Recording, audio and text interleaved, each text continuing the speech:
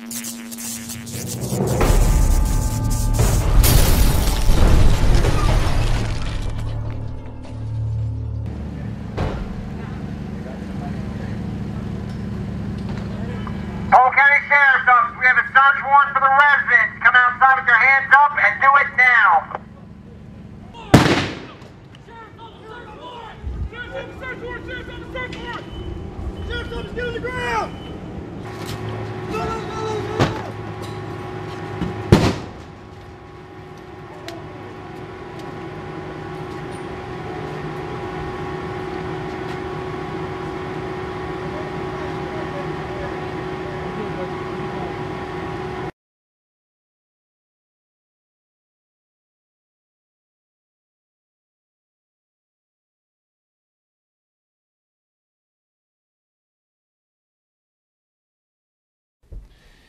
It's about drugs and money and guns.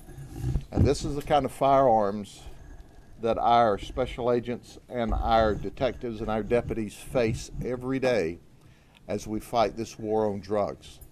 So don't let anyone tell you for one moment that this is just small amounts of drugs and it doesn't mean anything.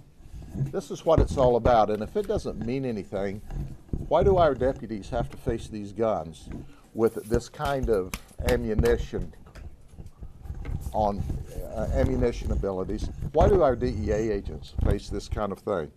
I'm going to set this off to the side where we present the rest of the conference.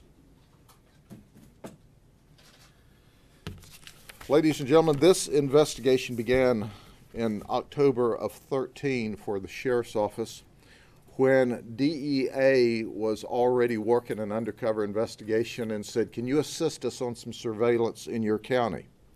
So, as we were doing the surveillance in, in this county, working with our, our colleagues and allies, DEA, we recognized that one of the suspects that all of a sudden showed up at one of the surveillances was a fellow by the name of Luis Rojas.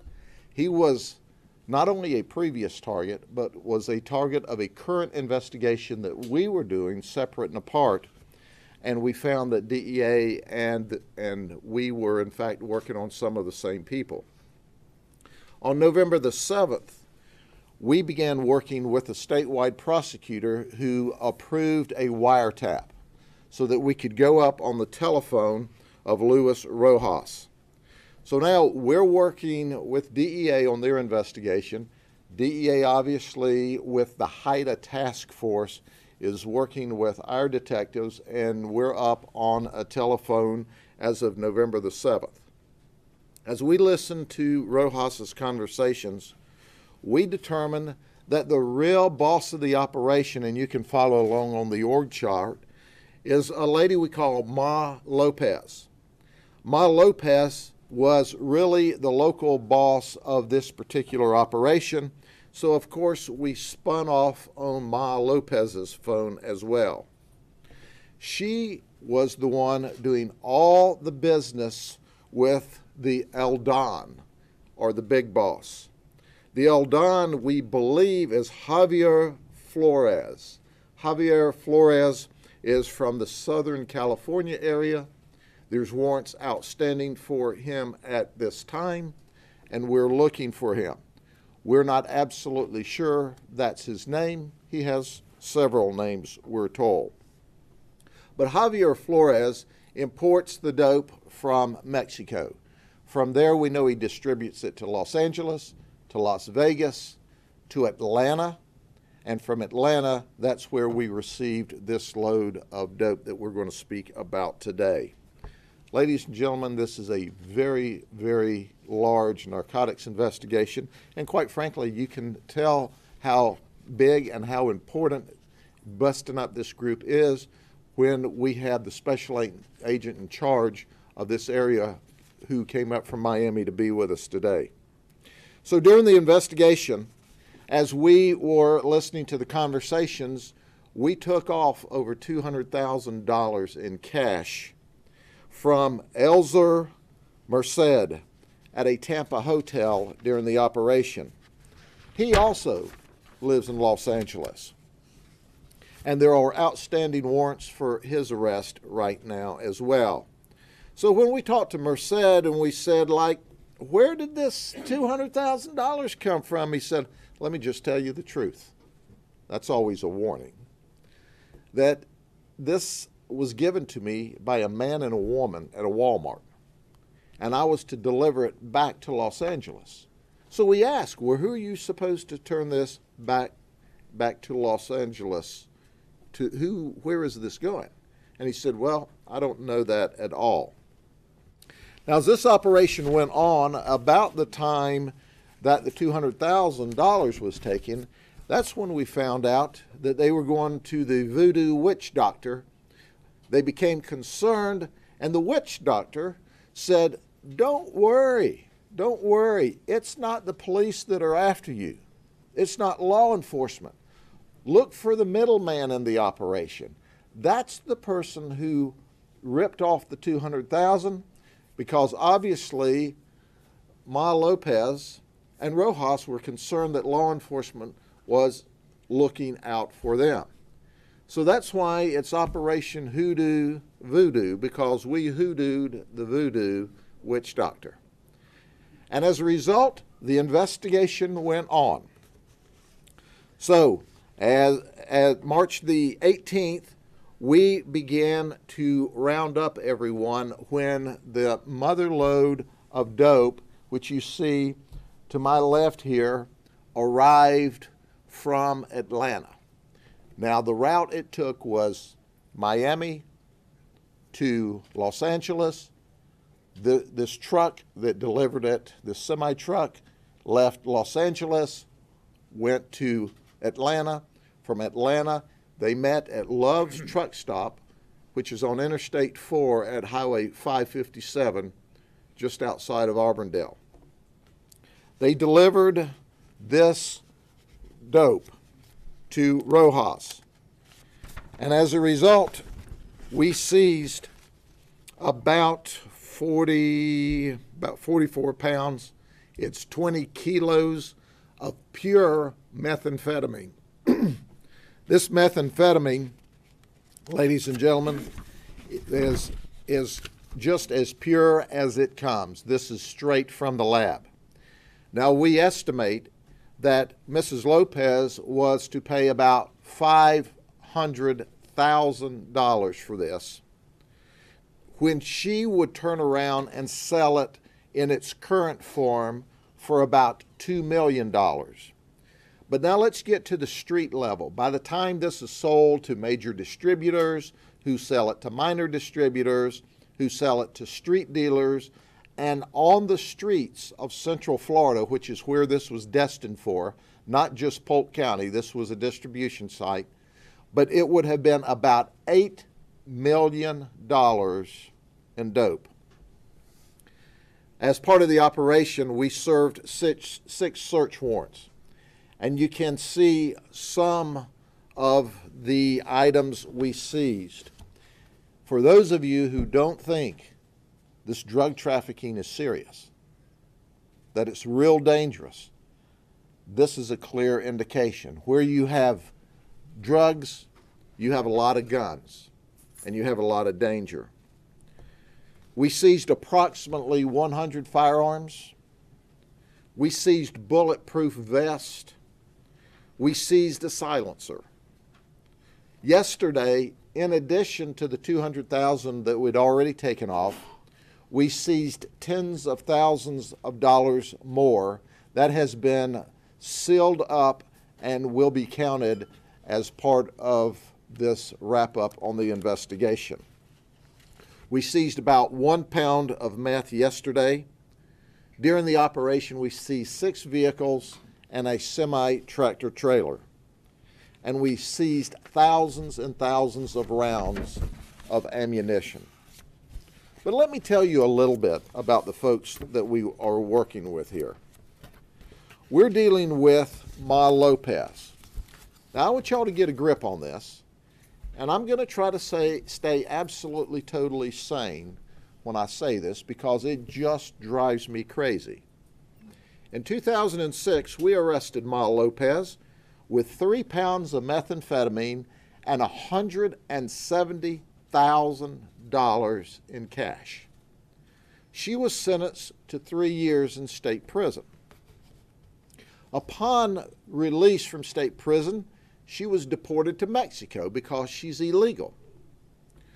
Well, Ma made re entry into the country illegally and continued on with her methamphetamine organization.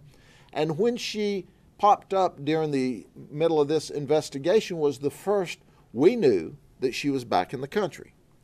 So as the investigation is unfolding, and as we're hearing her talk about all of this large drug dealing, when we're taking off $200,000 from some of her runners, are you ready for this? We discover that she's getting federal assistance. Now, you explain to me how she made re entry into this country illegally after being a convicted felon, after serving three years in prison, and she shows up at a public assistance government office and they sign her up and give her some more of our taxpayers' money. Does that just drive you crazy? You and I go to work every day and we work hard and we pay, pay our taxes and we don't mind helping those that need help. But we're given a drug dealer who deals in millions of dollars worth of drugs federal assistance. I think we need a federal investigation into how in the heck that happened. So, if that's not enough, you know, you would there are people who lead you to think that these minor drug dealers shouldn't be arrested. But how about that? You like that? That's the criminal record of one of the guys. Just, this is minor drugs. It's not dangerous. What the heck? So, folks, when people tell you that drug dealing is a minor event in this country. And I look at this and I see that 11 of the 25 that we've arrested or have warrants on are receiving federal assistance. While we're seizing hundreds of thousands of dollars from them, while they have tens of thousands of dollars worth of dangerous weapons, it makes you understand that somebody on television, and I would suggest everybody that's appearing on national television or local television telling you drugs aren't that big a deal, drugs aren't bad, are just absolutely, unequivocally, without any doubt, lying to you. So, in addition to that, we have Joshua Widows and TJ Scott who are or were known gang members, and they were associates with a fellow by the name of Matthew Tutt. Now, that may not mean anything to you, but Matthew Tutt is a person who ambushed and shot and tried to kill two of our deputies not so many years ago. And ultimately, Matthew Tutt was shot and killed by one of the deputies after he had been severely injured we have outstanding warrants for them, and they are doing what? Selling drugs. And of the approximately 100 guns we seized, 75 of them came from Joshua Widow's house alone. And he ran from us yesterday, and he fled from the vehicle, and he had four guns in the vehicle with him when he fled.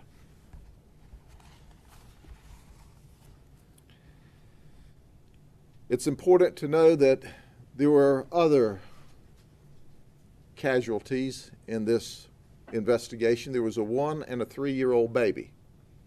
They were victims. And you know, we had to call DCF in order to turn the children over to the state because all of their rel- relatives were either arrested or implicated in this drug operation. We know there have been at least 114 previous criminal charges lodged against these people.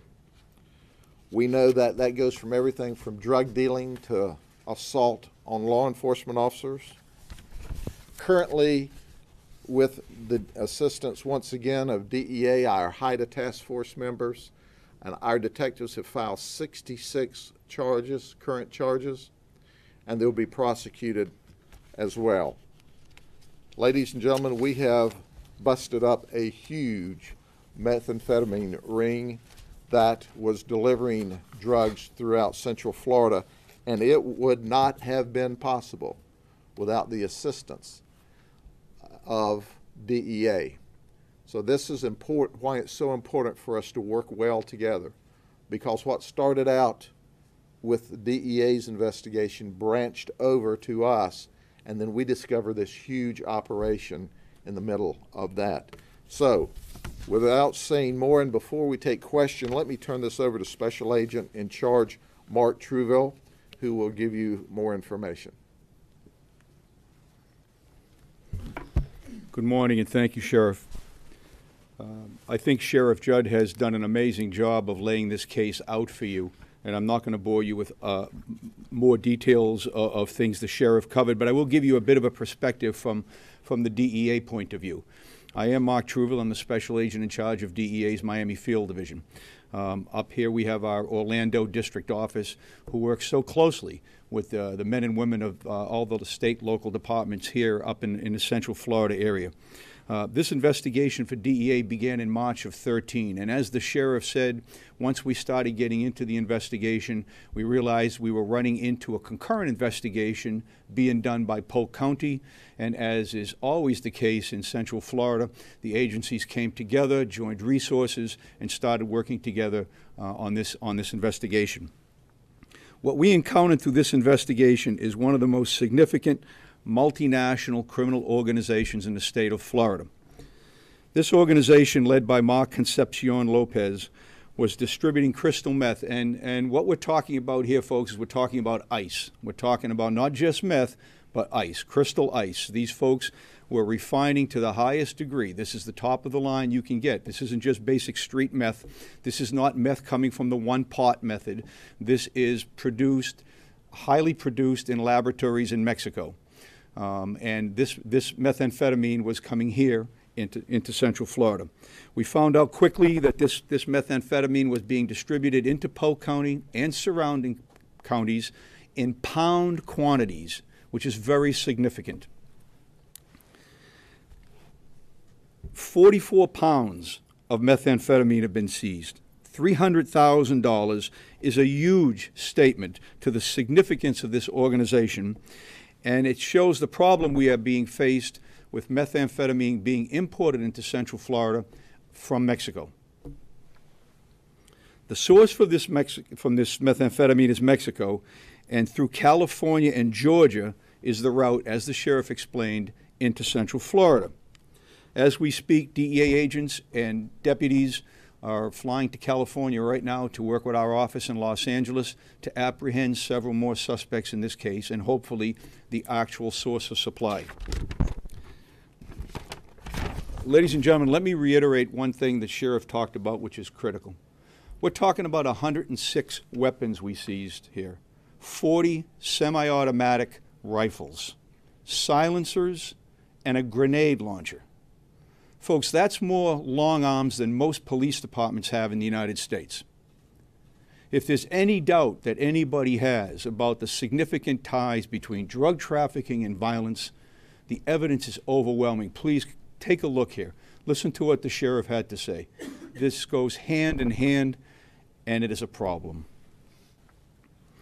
So, I, I just want to thank I just want to thank all the folks that were involved in this. Sheriff Judd, the men and women of the Polk County Sheriff's Office, the investigators we worked with in Lake, Osceola, and um, um, uh, I'm sorry, I'm missing one, one, uh, one department I know we work closely with, Polk.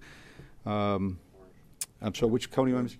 Orange. I apologize, Orange was with us as well. Um, um, and, and I also want to thank uh, uh, uh, Pam Bondi and the statewide prosecutor's office, Prosecutor Gillespie. My guys tell me that he was going all night long with them. Our deputies and our agents haven't had any sleep in the last several days. Uh, prosecutor was uh, side by side with them the whole time, and, and that's how an effective prosecution works. Um, and I'd also like to take a second to thank my own uh, men and women of the Orlando District Office who have done such a tremendous job and go to such great lengths to cultivate the tremendous law enforcement relationships we have here. This is an investigation. You could see there were three or four different investigations going here. And if the agencies up here, under the leadership of, of, of our office in Orlando and sheriffs like Sheriff Judd, didn't come together immediately, this could have been just a lot of roadblocks for everybody. But because we work so well together, we had the tremendous success we had. So thank you very much.